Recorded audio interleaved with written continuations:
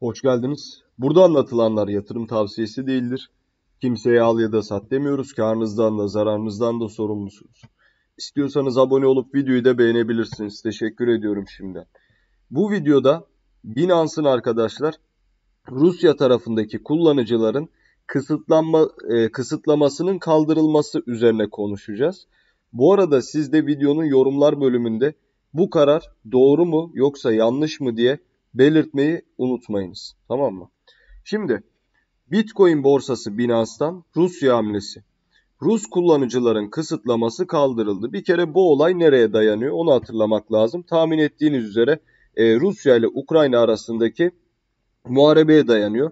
Bu olduktan sonra dünyanın pek çok yerinde Rusya ambargo altına kaldı, altında kaldı. Rusya da pek çok yere ambargo uyguladı e, gibi durumlar mevzu bahis oldu. Tabi bu savaş sırası esnasında da kriptoların genel pozisyonu da çok önemliydi ki bu hala hissediliyor. İlk etapta her zaman söyleriz kripto kaostan beslenir diye ve gerçekten yine böyle oldu. Altın, petrol misali. Tabi kısa vade fiyatsal değil fakat uzun vadede bunun böyle olduğunu anlayabiliyoruz. Bir, Ukrayna tarafına zamanında çok ciddi ölçüde kripto paralarla bağış gitti. Ve dünya genelinde kriptolar bu olay esnasında büyük bir reklam yaptı gibi bir durum oldu aslında. İkincisi Ukrayna tarafı bunu görmüş oldu ve an itibariyle biliyorsunuz Mika olayıyla beraber Mika'yı ilk kabul eden ülkelerden ve uyarlayan ülkelerden e, bir tanesi olacağı gayet açık bir şekilde karşımıza çıktı. E, bir diğer mesele bu arada Mika'da bildiğiniz gibi Lunge için çok önemli, Terra Classic ve e, Shiba için çok çok önemli bir meseledir. Bununla alakalı da yine gün içerisinde konuşacağız. E, ikinci bir diğer durum Rusya bu olaydan sonra yani kendilerinin olaydan ambargo altında kalmasıyla son vakitlerde yine gün içinde detaylandıracağımız bir videonun da konu başlığı olduğu gibi inanılmaz derecede kripto dostu hareketler göstermeye başladı.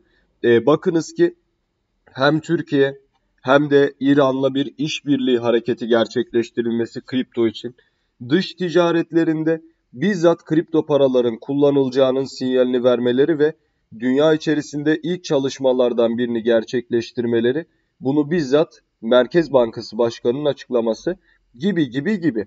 Yani adamlar uyguladıkları, uygulandığı ambargolardan maruz kalmamak için ne yaptı? Bu şekilde bir merkeziyetsiz e, finans sistemine geçiş yapma çabalaması içerisindedir. Tabi bütün bunlar olurken dünyanın pek çok yerinde Rusya'ya bir ambargo uygulandı. E, Binance işte diğer borsalardır odur budur bunlar da dahil. E, şu an itibariyle Binance Rusya'dan bu e, bunu kaldırdı. Şimdi büyük ihtimalle Binance'a, CZ'ye vesaire bu durum sorulduğunda yani siz neden bunu kaldırdınız diye sorulduğunda kuvvetle muhtemel CZ ve Binance tarafı şöyle açıklama yapacak. Bir, şu anda zaten ortada bir e, sıcak çatışma yok. Dolayısıyla zamanında bunu yaptık fakat şu an anlık işlenen bir suç yok. E, ikincisi Rusya tarafının e, hareketleri iyi. Düzgün bir şekilde kriptoda bulunuyorlar. E, biz de yani bir onlar bize adım atıyor. Biz neden onlara adım atmayalım e, açıklamasıyla büyük ihtimalle bir ön ayak oluşturacak gibi gözüküyorlar. E, bu ne kadar mantıklı şunu söyleyebilirim. Bence e, işlem yanlış ama sonuç doğru. Şimdi e, sonucun doğru olmasındaki sebep şu. Ya zaten ne yaparsan yap doğru. Sen ABD tarafını tabiri caizse adam edemiyorsun zaten. Adamlar ne yaparsan yap kafasına göre takılıyor. Şimdi bütün bunlar olurken e, piyasanın tamamı farklı noktalara evrilmeye çalışıyor. Farklı pazarlara gidiyor. E, Avrupa tarafına açılmaya çalışıyor. Tamam Bu tarz olaylar gözlemleniyor.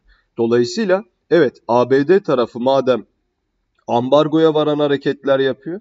O zaman diğer pazarlara işte Rusya olsun ne bileyim e, Avrupa pazarları olsun ki Avrupa pazarları Mika ile beraber açıldı vesaire vesaire. Yani sonuç doğru. E, işlem doğru mu? Hayır işlem doğru değil. Çünkü ben e, Binance ve CZ tarafının biraz artık duygusal düşünerek hareket e, ettiği kanaatindeyim. Çünkü yapmış olduğu birçok şey aslında buna delalet.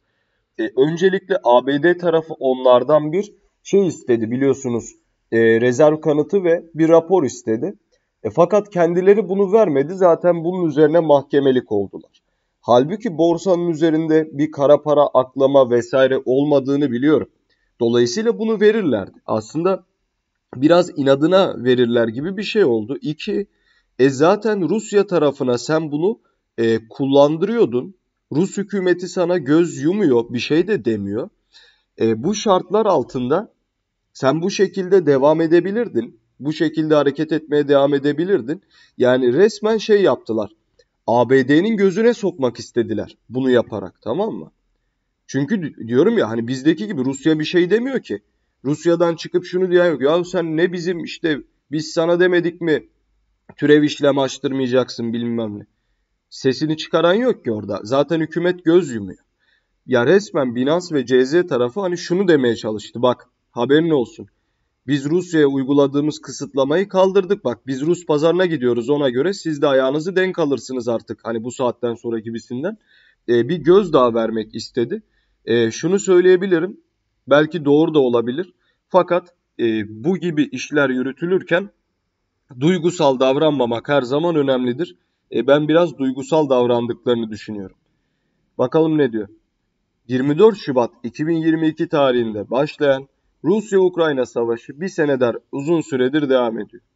Avrupa ve ABD tarafından Rusya'ya uygulanan ambargolar o günden beri devam ederken bu kapsamda birçok kripto para borsası da Rusya'ya bazı engellemeler uygulamıştı. Evet. Özellikle ambargo altında olan Rusya bu arada şey Rus, e, Vitalik Buterin Rus. Kökeni Rus yani. Kripto paraları bu dönemde yoğun bir şekilde kullandı. Doğrudur. Ambargoları kripto paralarla delmeye çalışan Rusya birçok borsanın engellemesiyle karşı karşıya kaldı. Evet. E, aslında işte tam olarak şu an delmeye çalışıyorlar. Bu bağlamda Binance her ne kadar öncesinde Rus vatandaşlarla ilgili herhangi bir yaptırım olmayacağını söylese de sonrasında Rus vatandaşların platformu kullanmaları kullanmalarını engellenmişti. Coindesk'in haberine göre Binance neredeyse bir senedir Rus vatandaşlara yönelik uygulamış olduğu engellemeyi kaldırdı. Mevcut durumda Rus vatandaşlar banka kartlarından Rus rublesi, euro, İngiliz sterlini ve diğer para birimlerini platforma yatırabiliyor. Henüz konuyla ilgili Binance'dan resmi bir açıklama gelmedi. Dediğim gibi siz de kararı nasıl bulduğunuzu yorumlar bölümünde açıklayınız. İzlediğiniz için teşekkür ediyorum. Abone olup videoyu da beğenebilirsiniz. Bol kazançlar dilerim videoyu izleyen herkese. Hoşçakalın.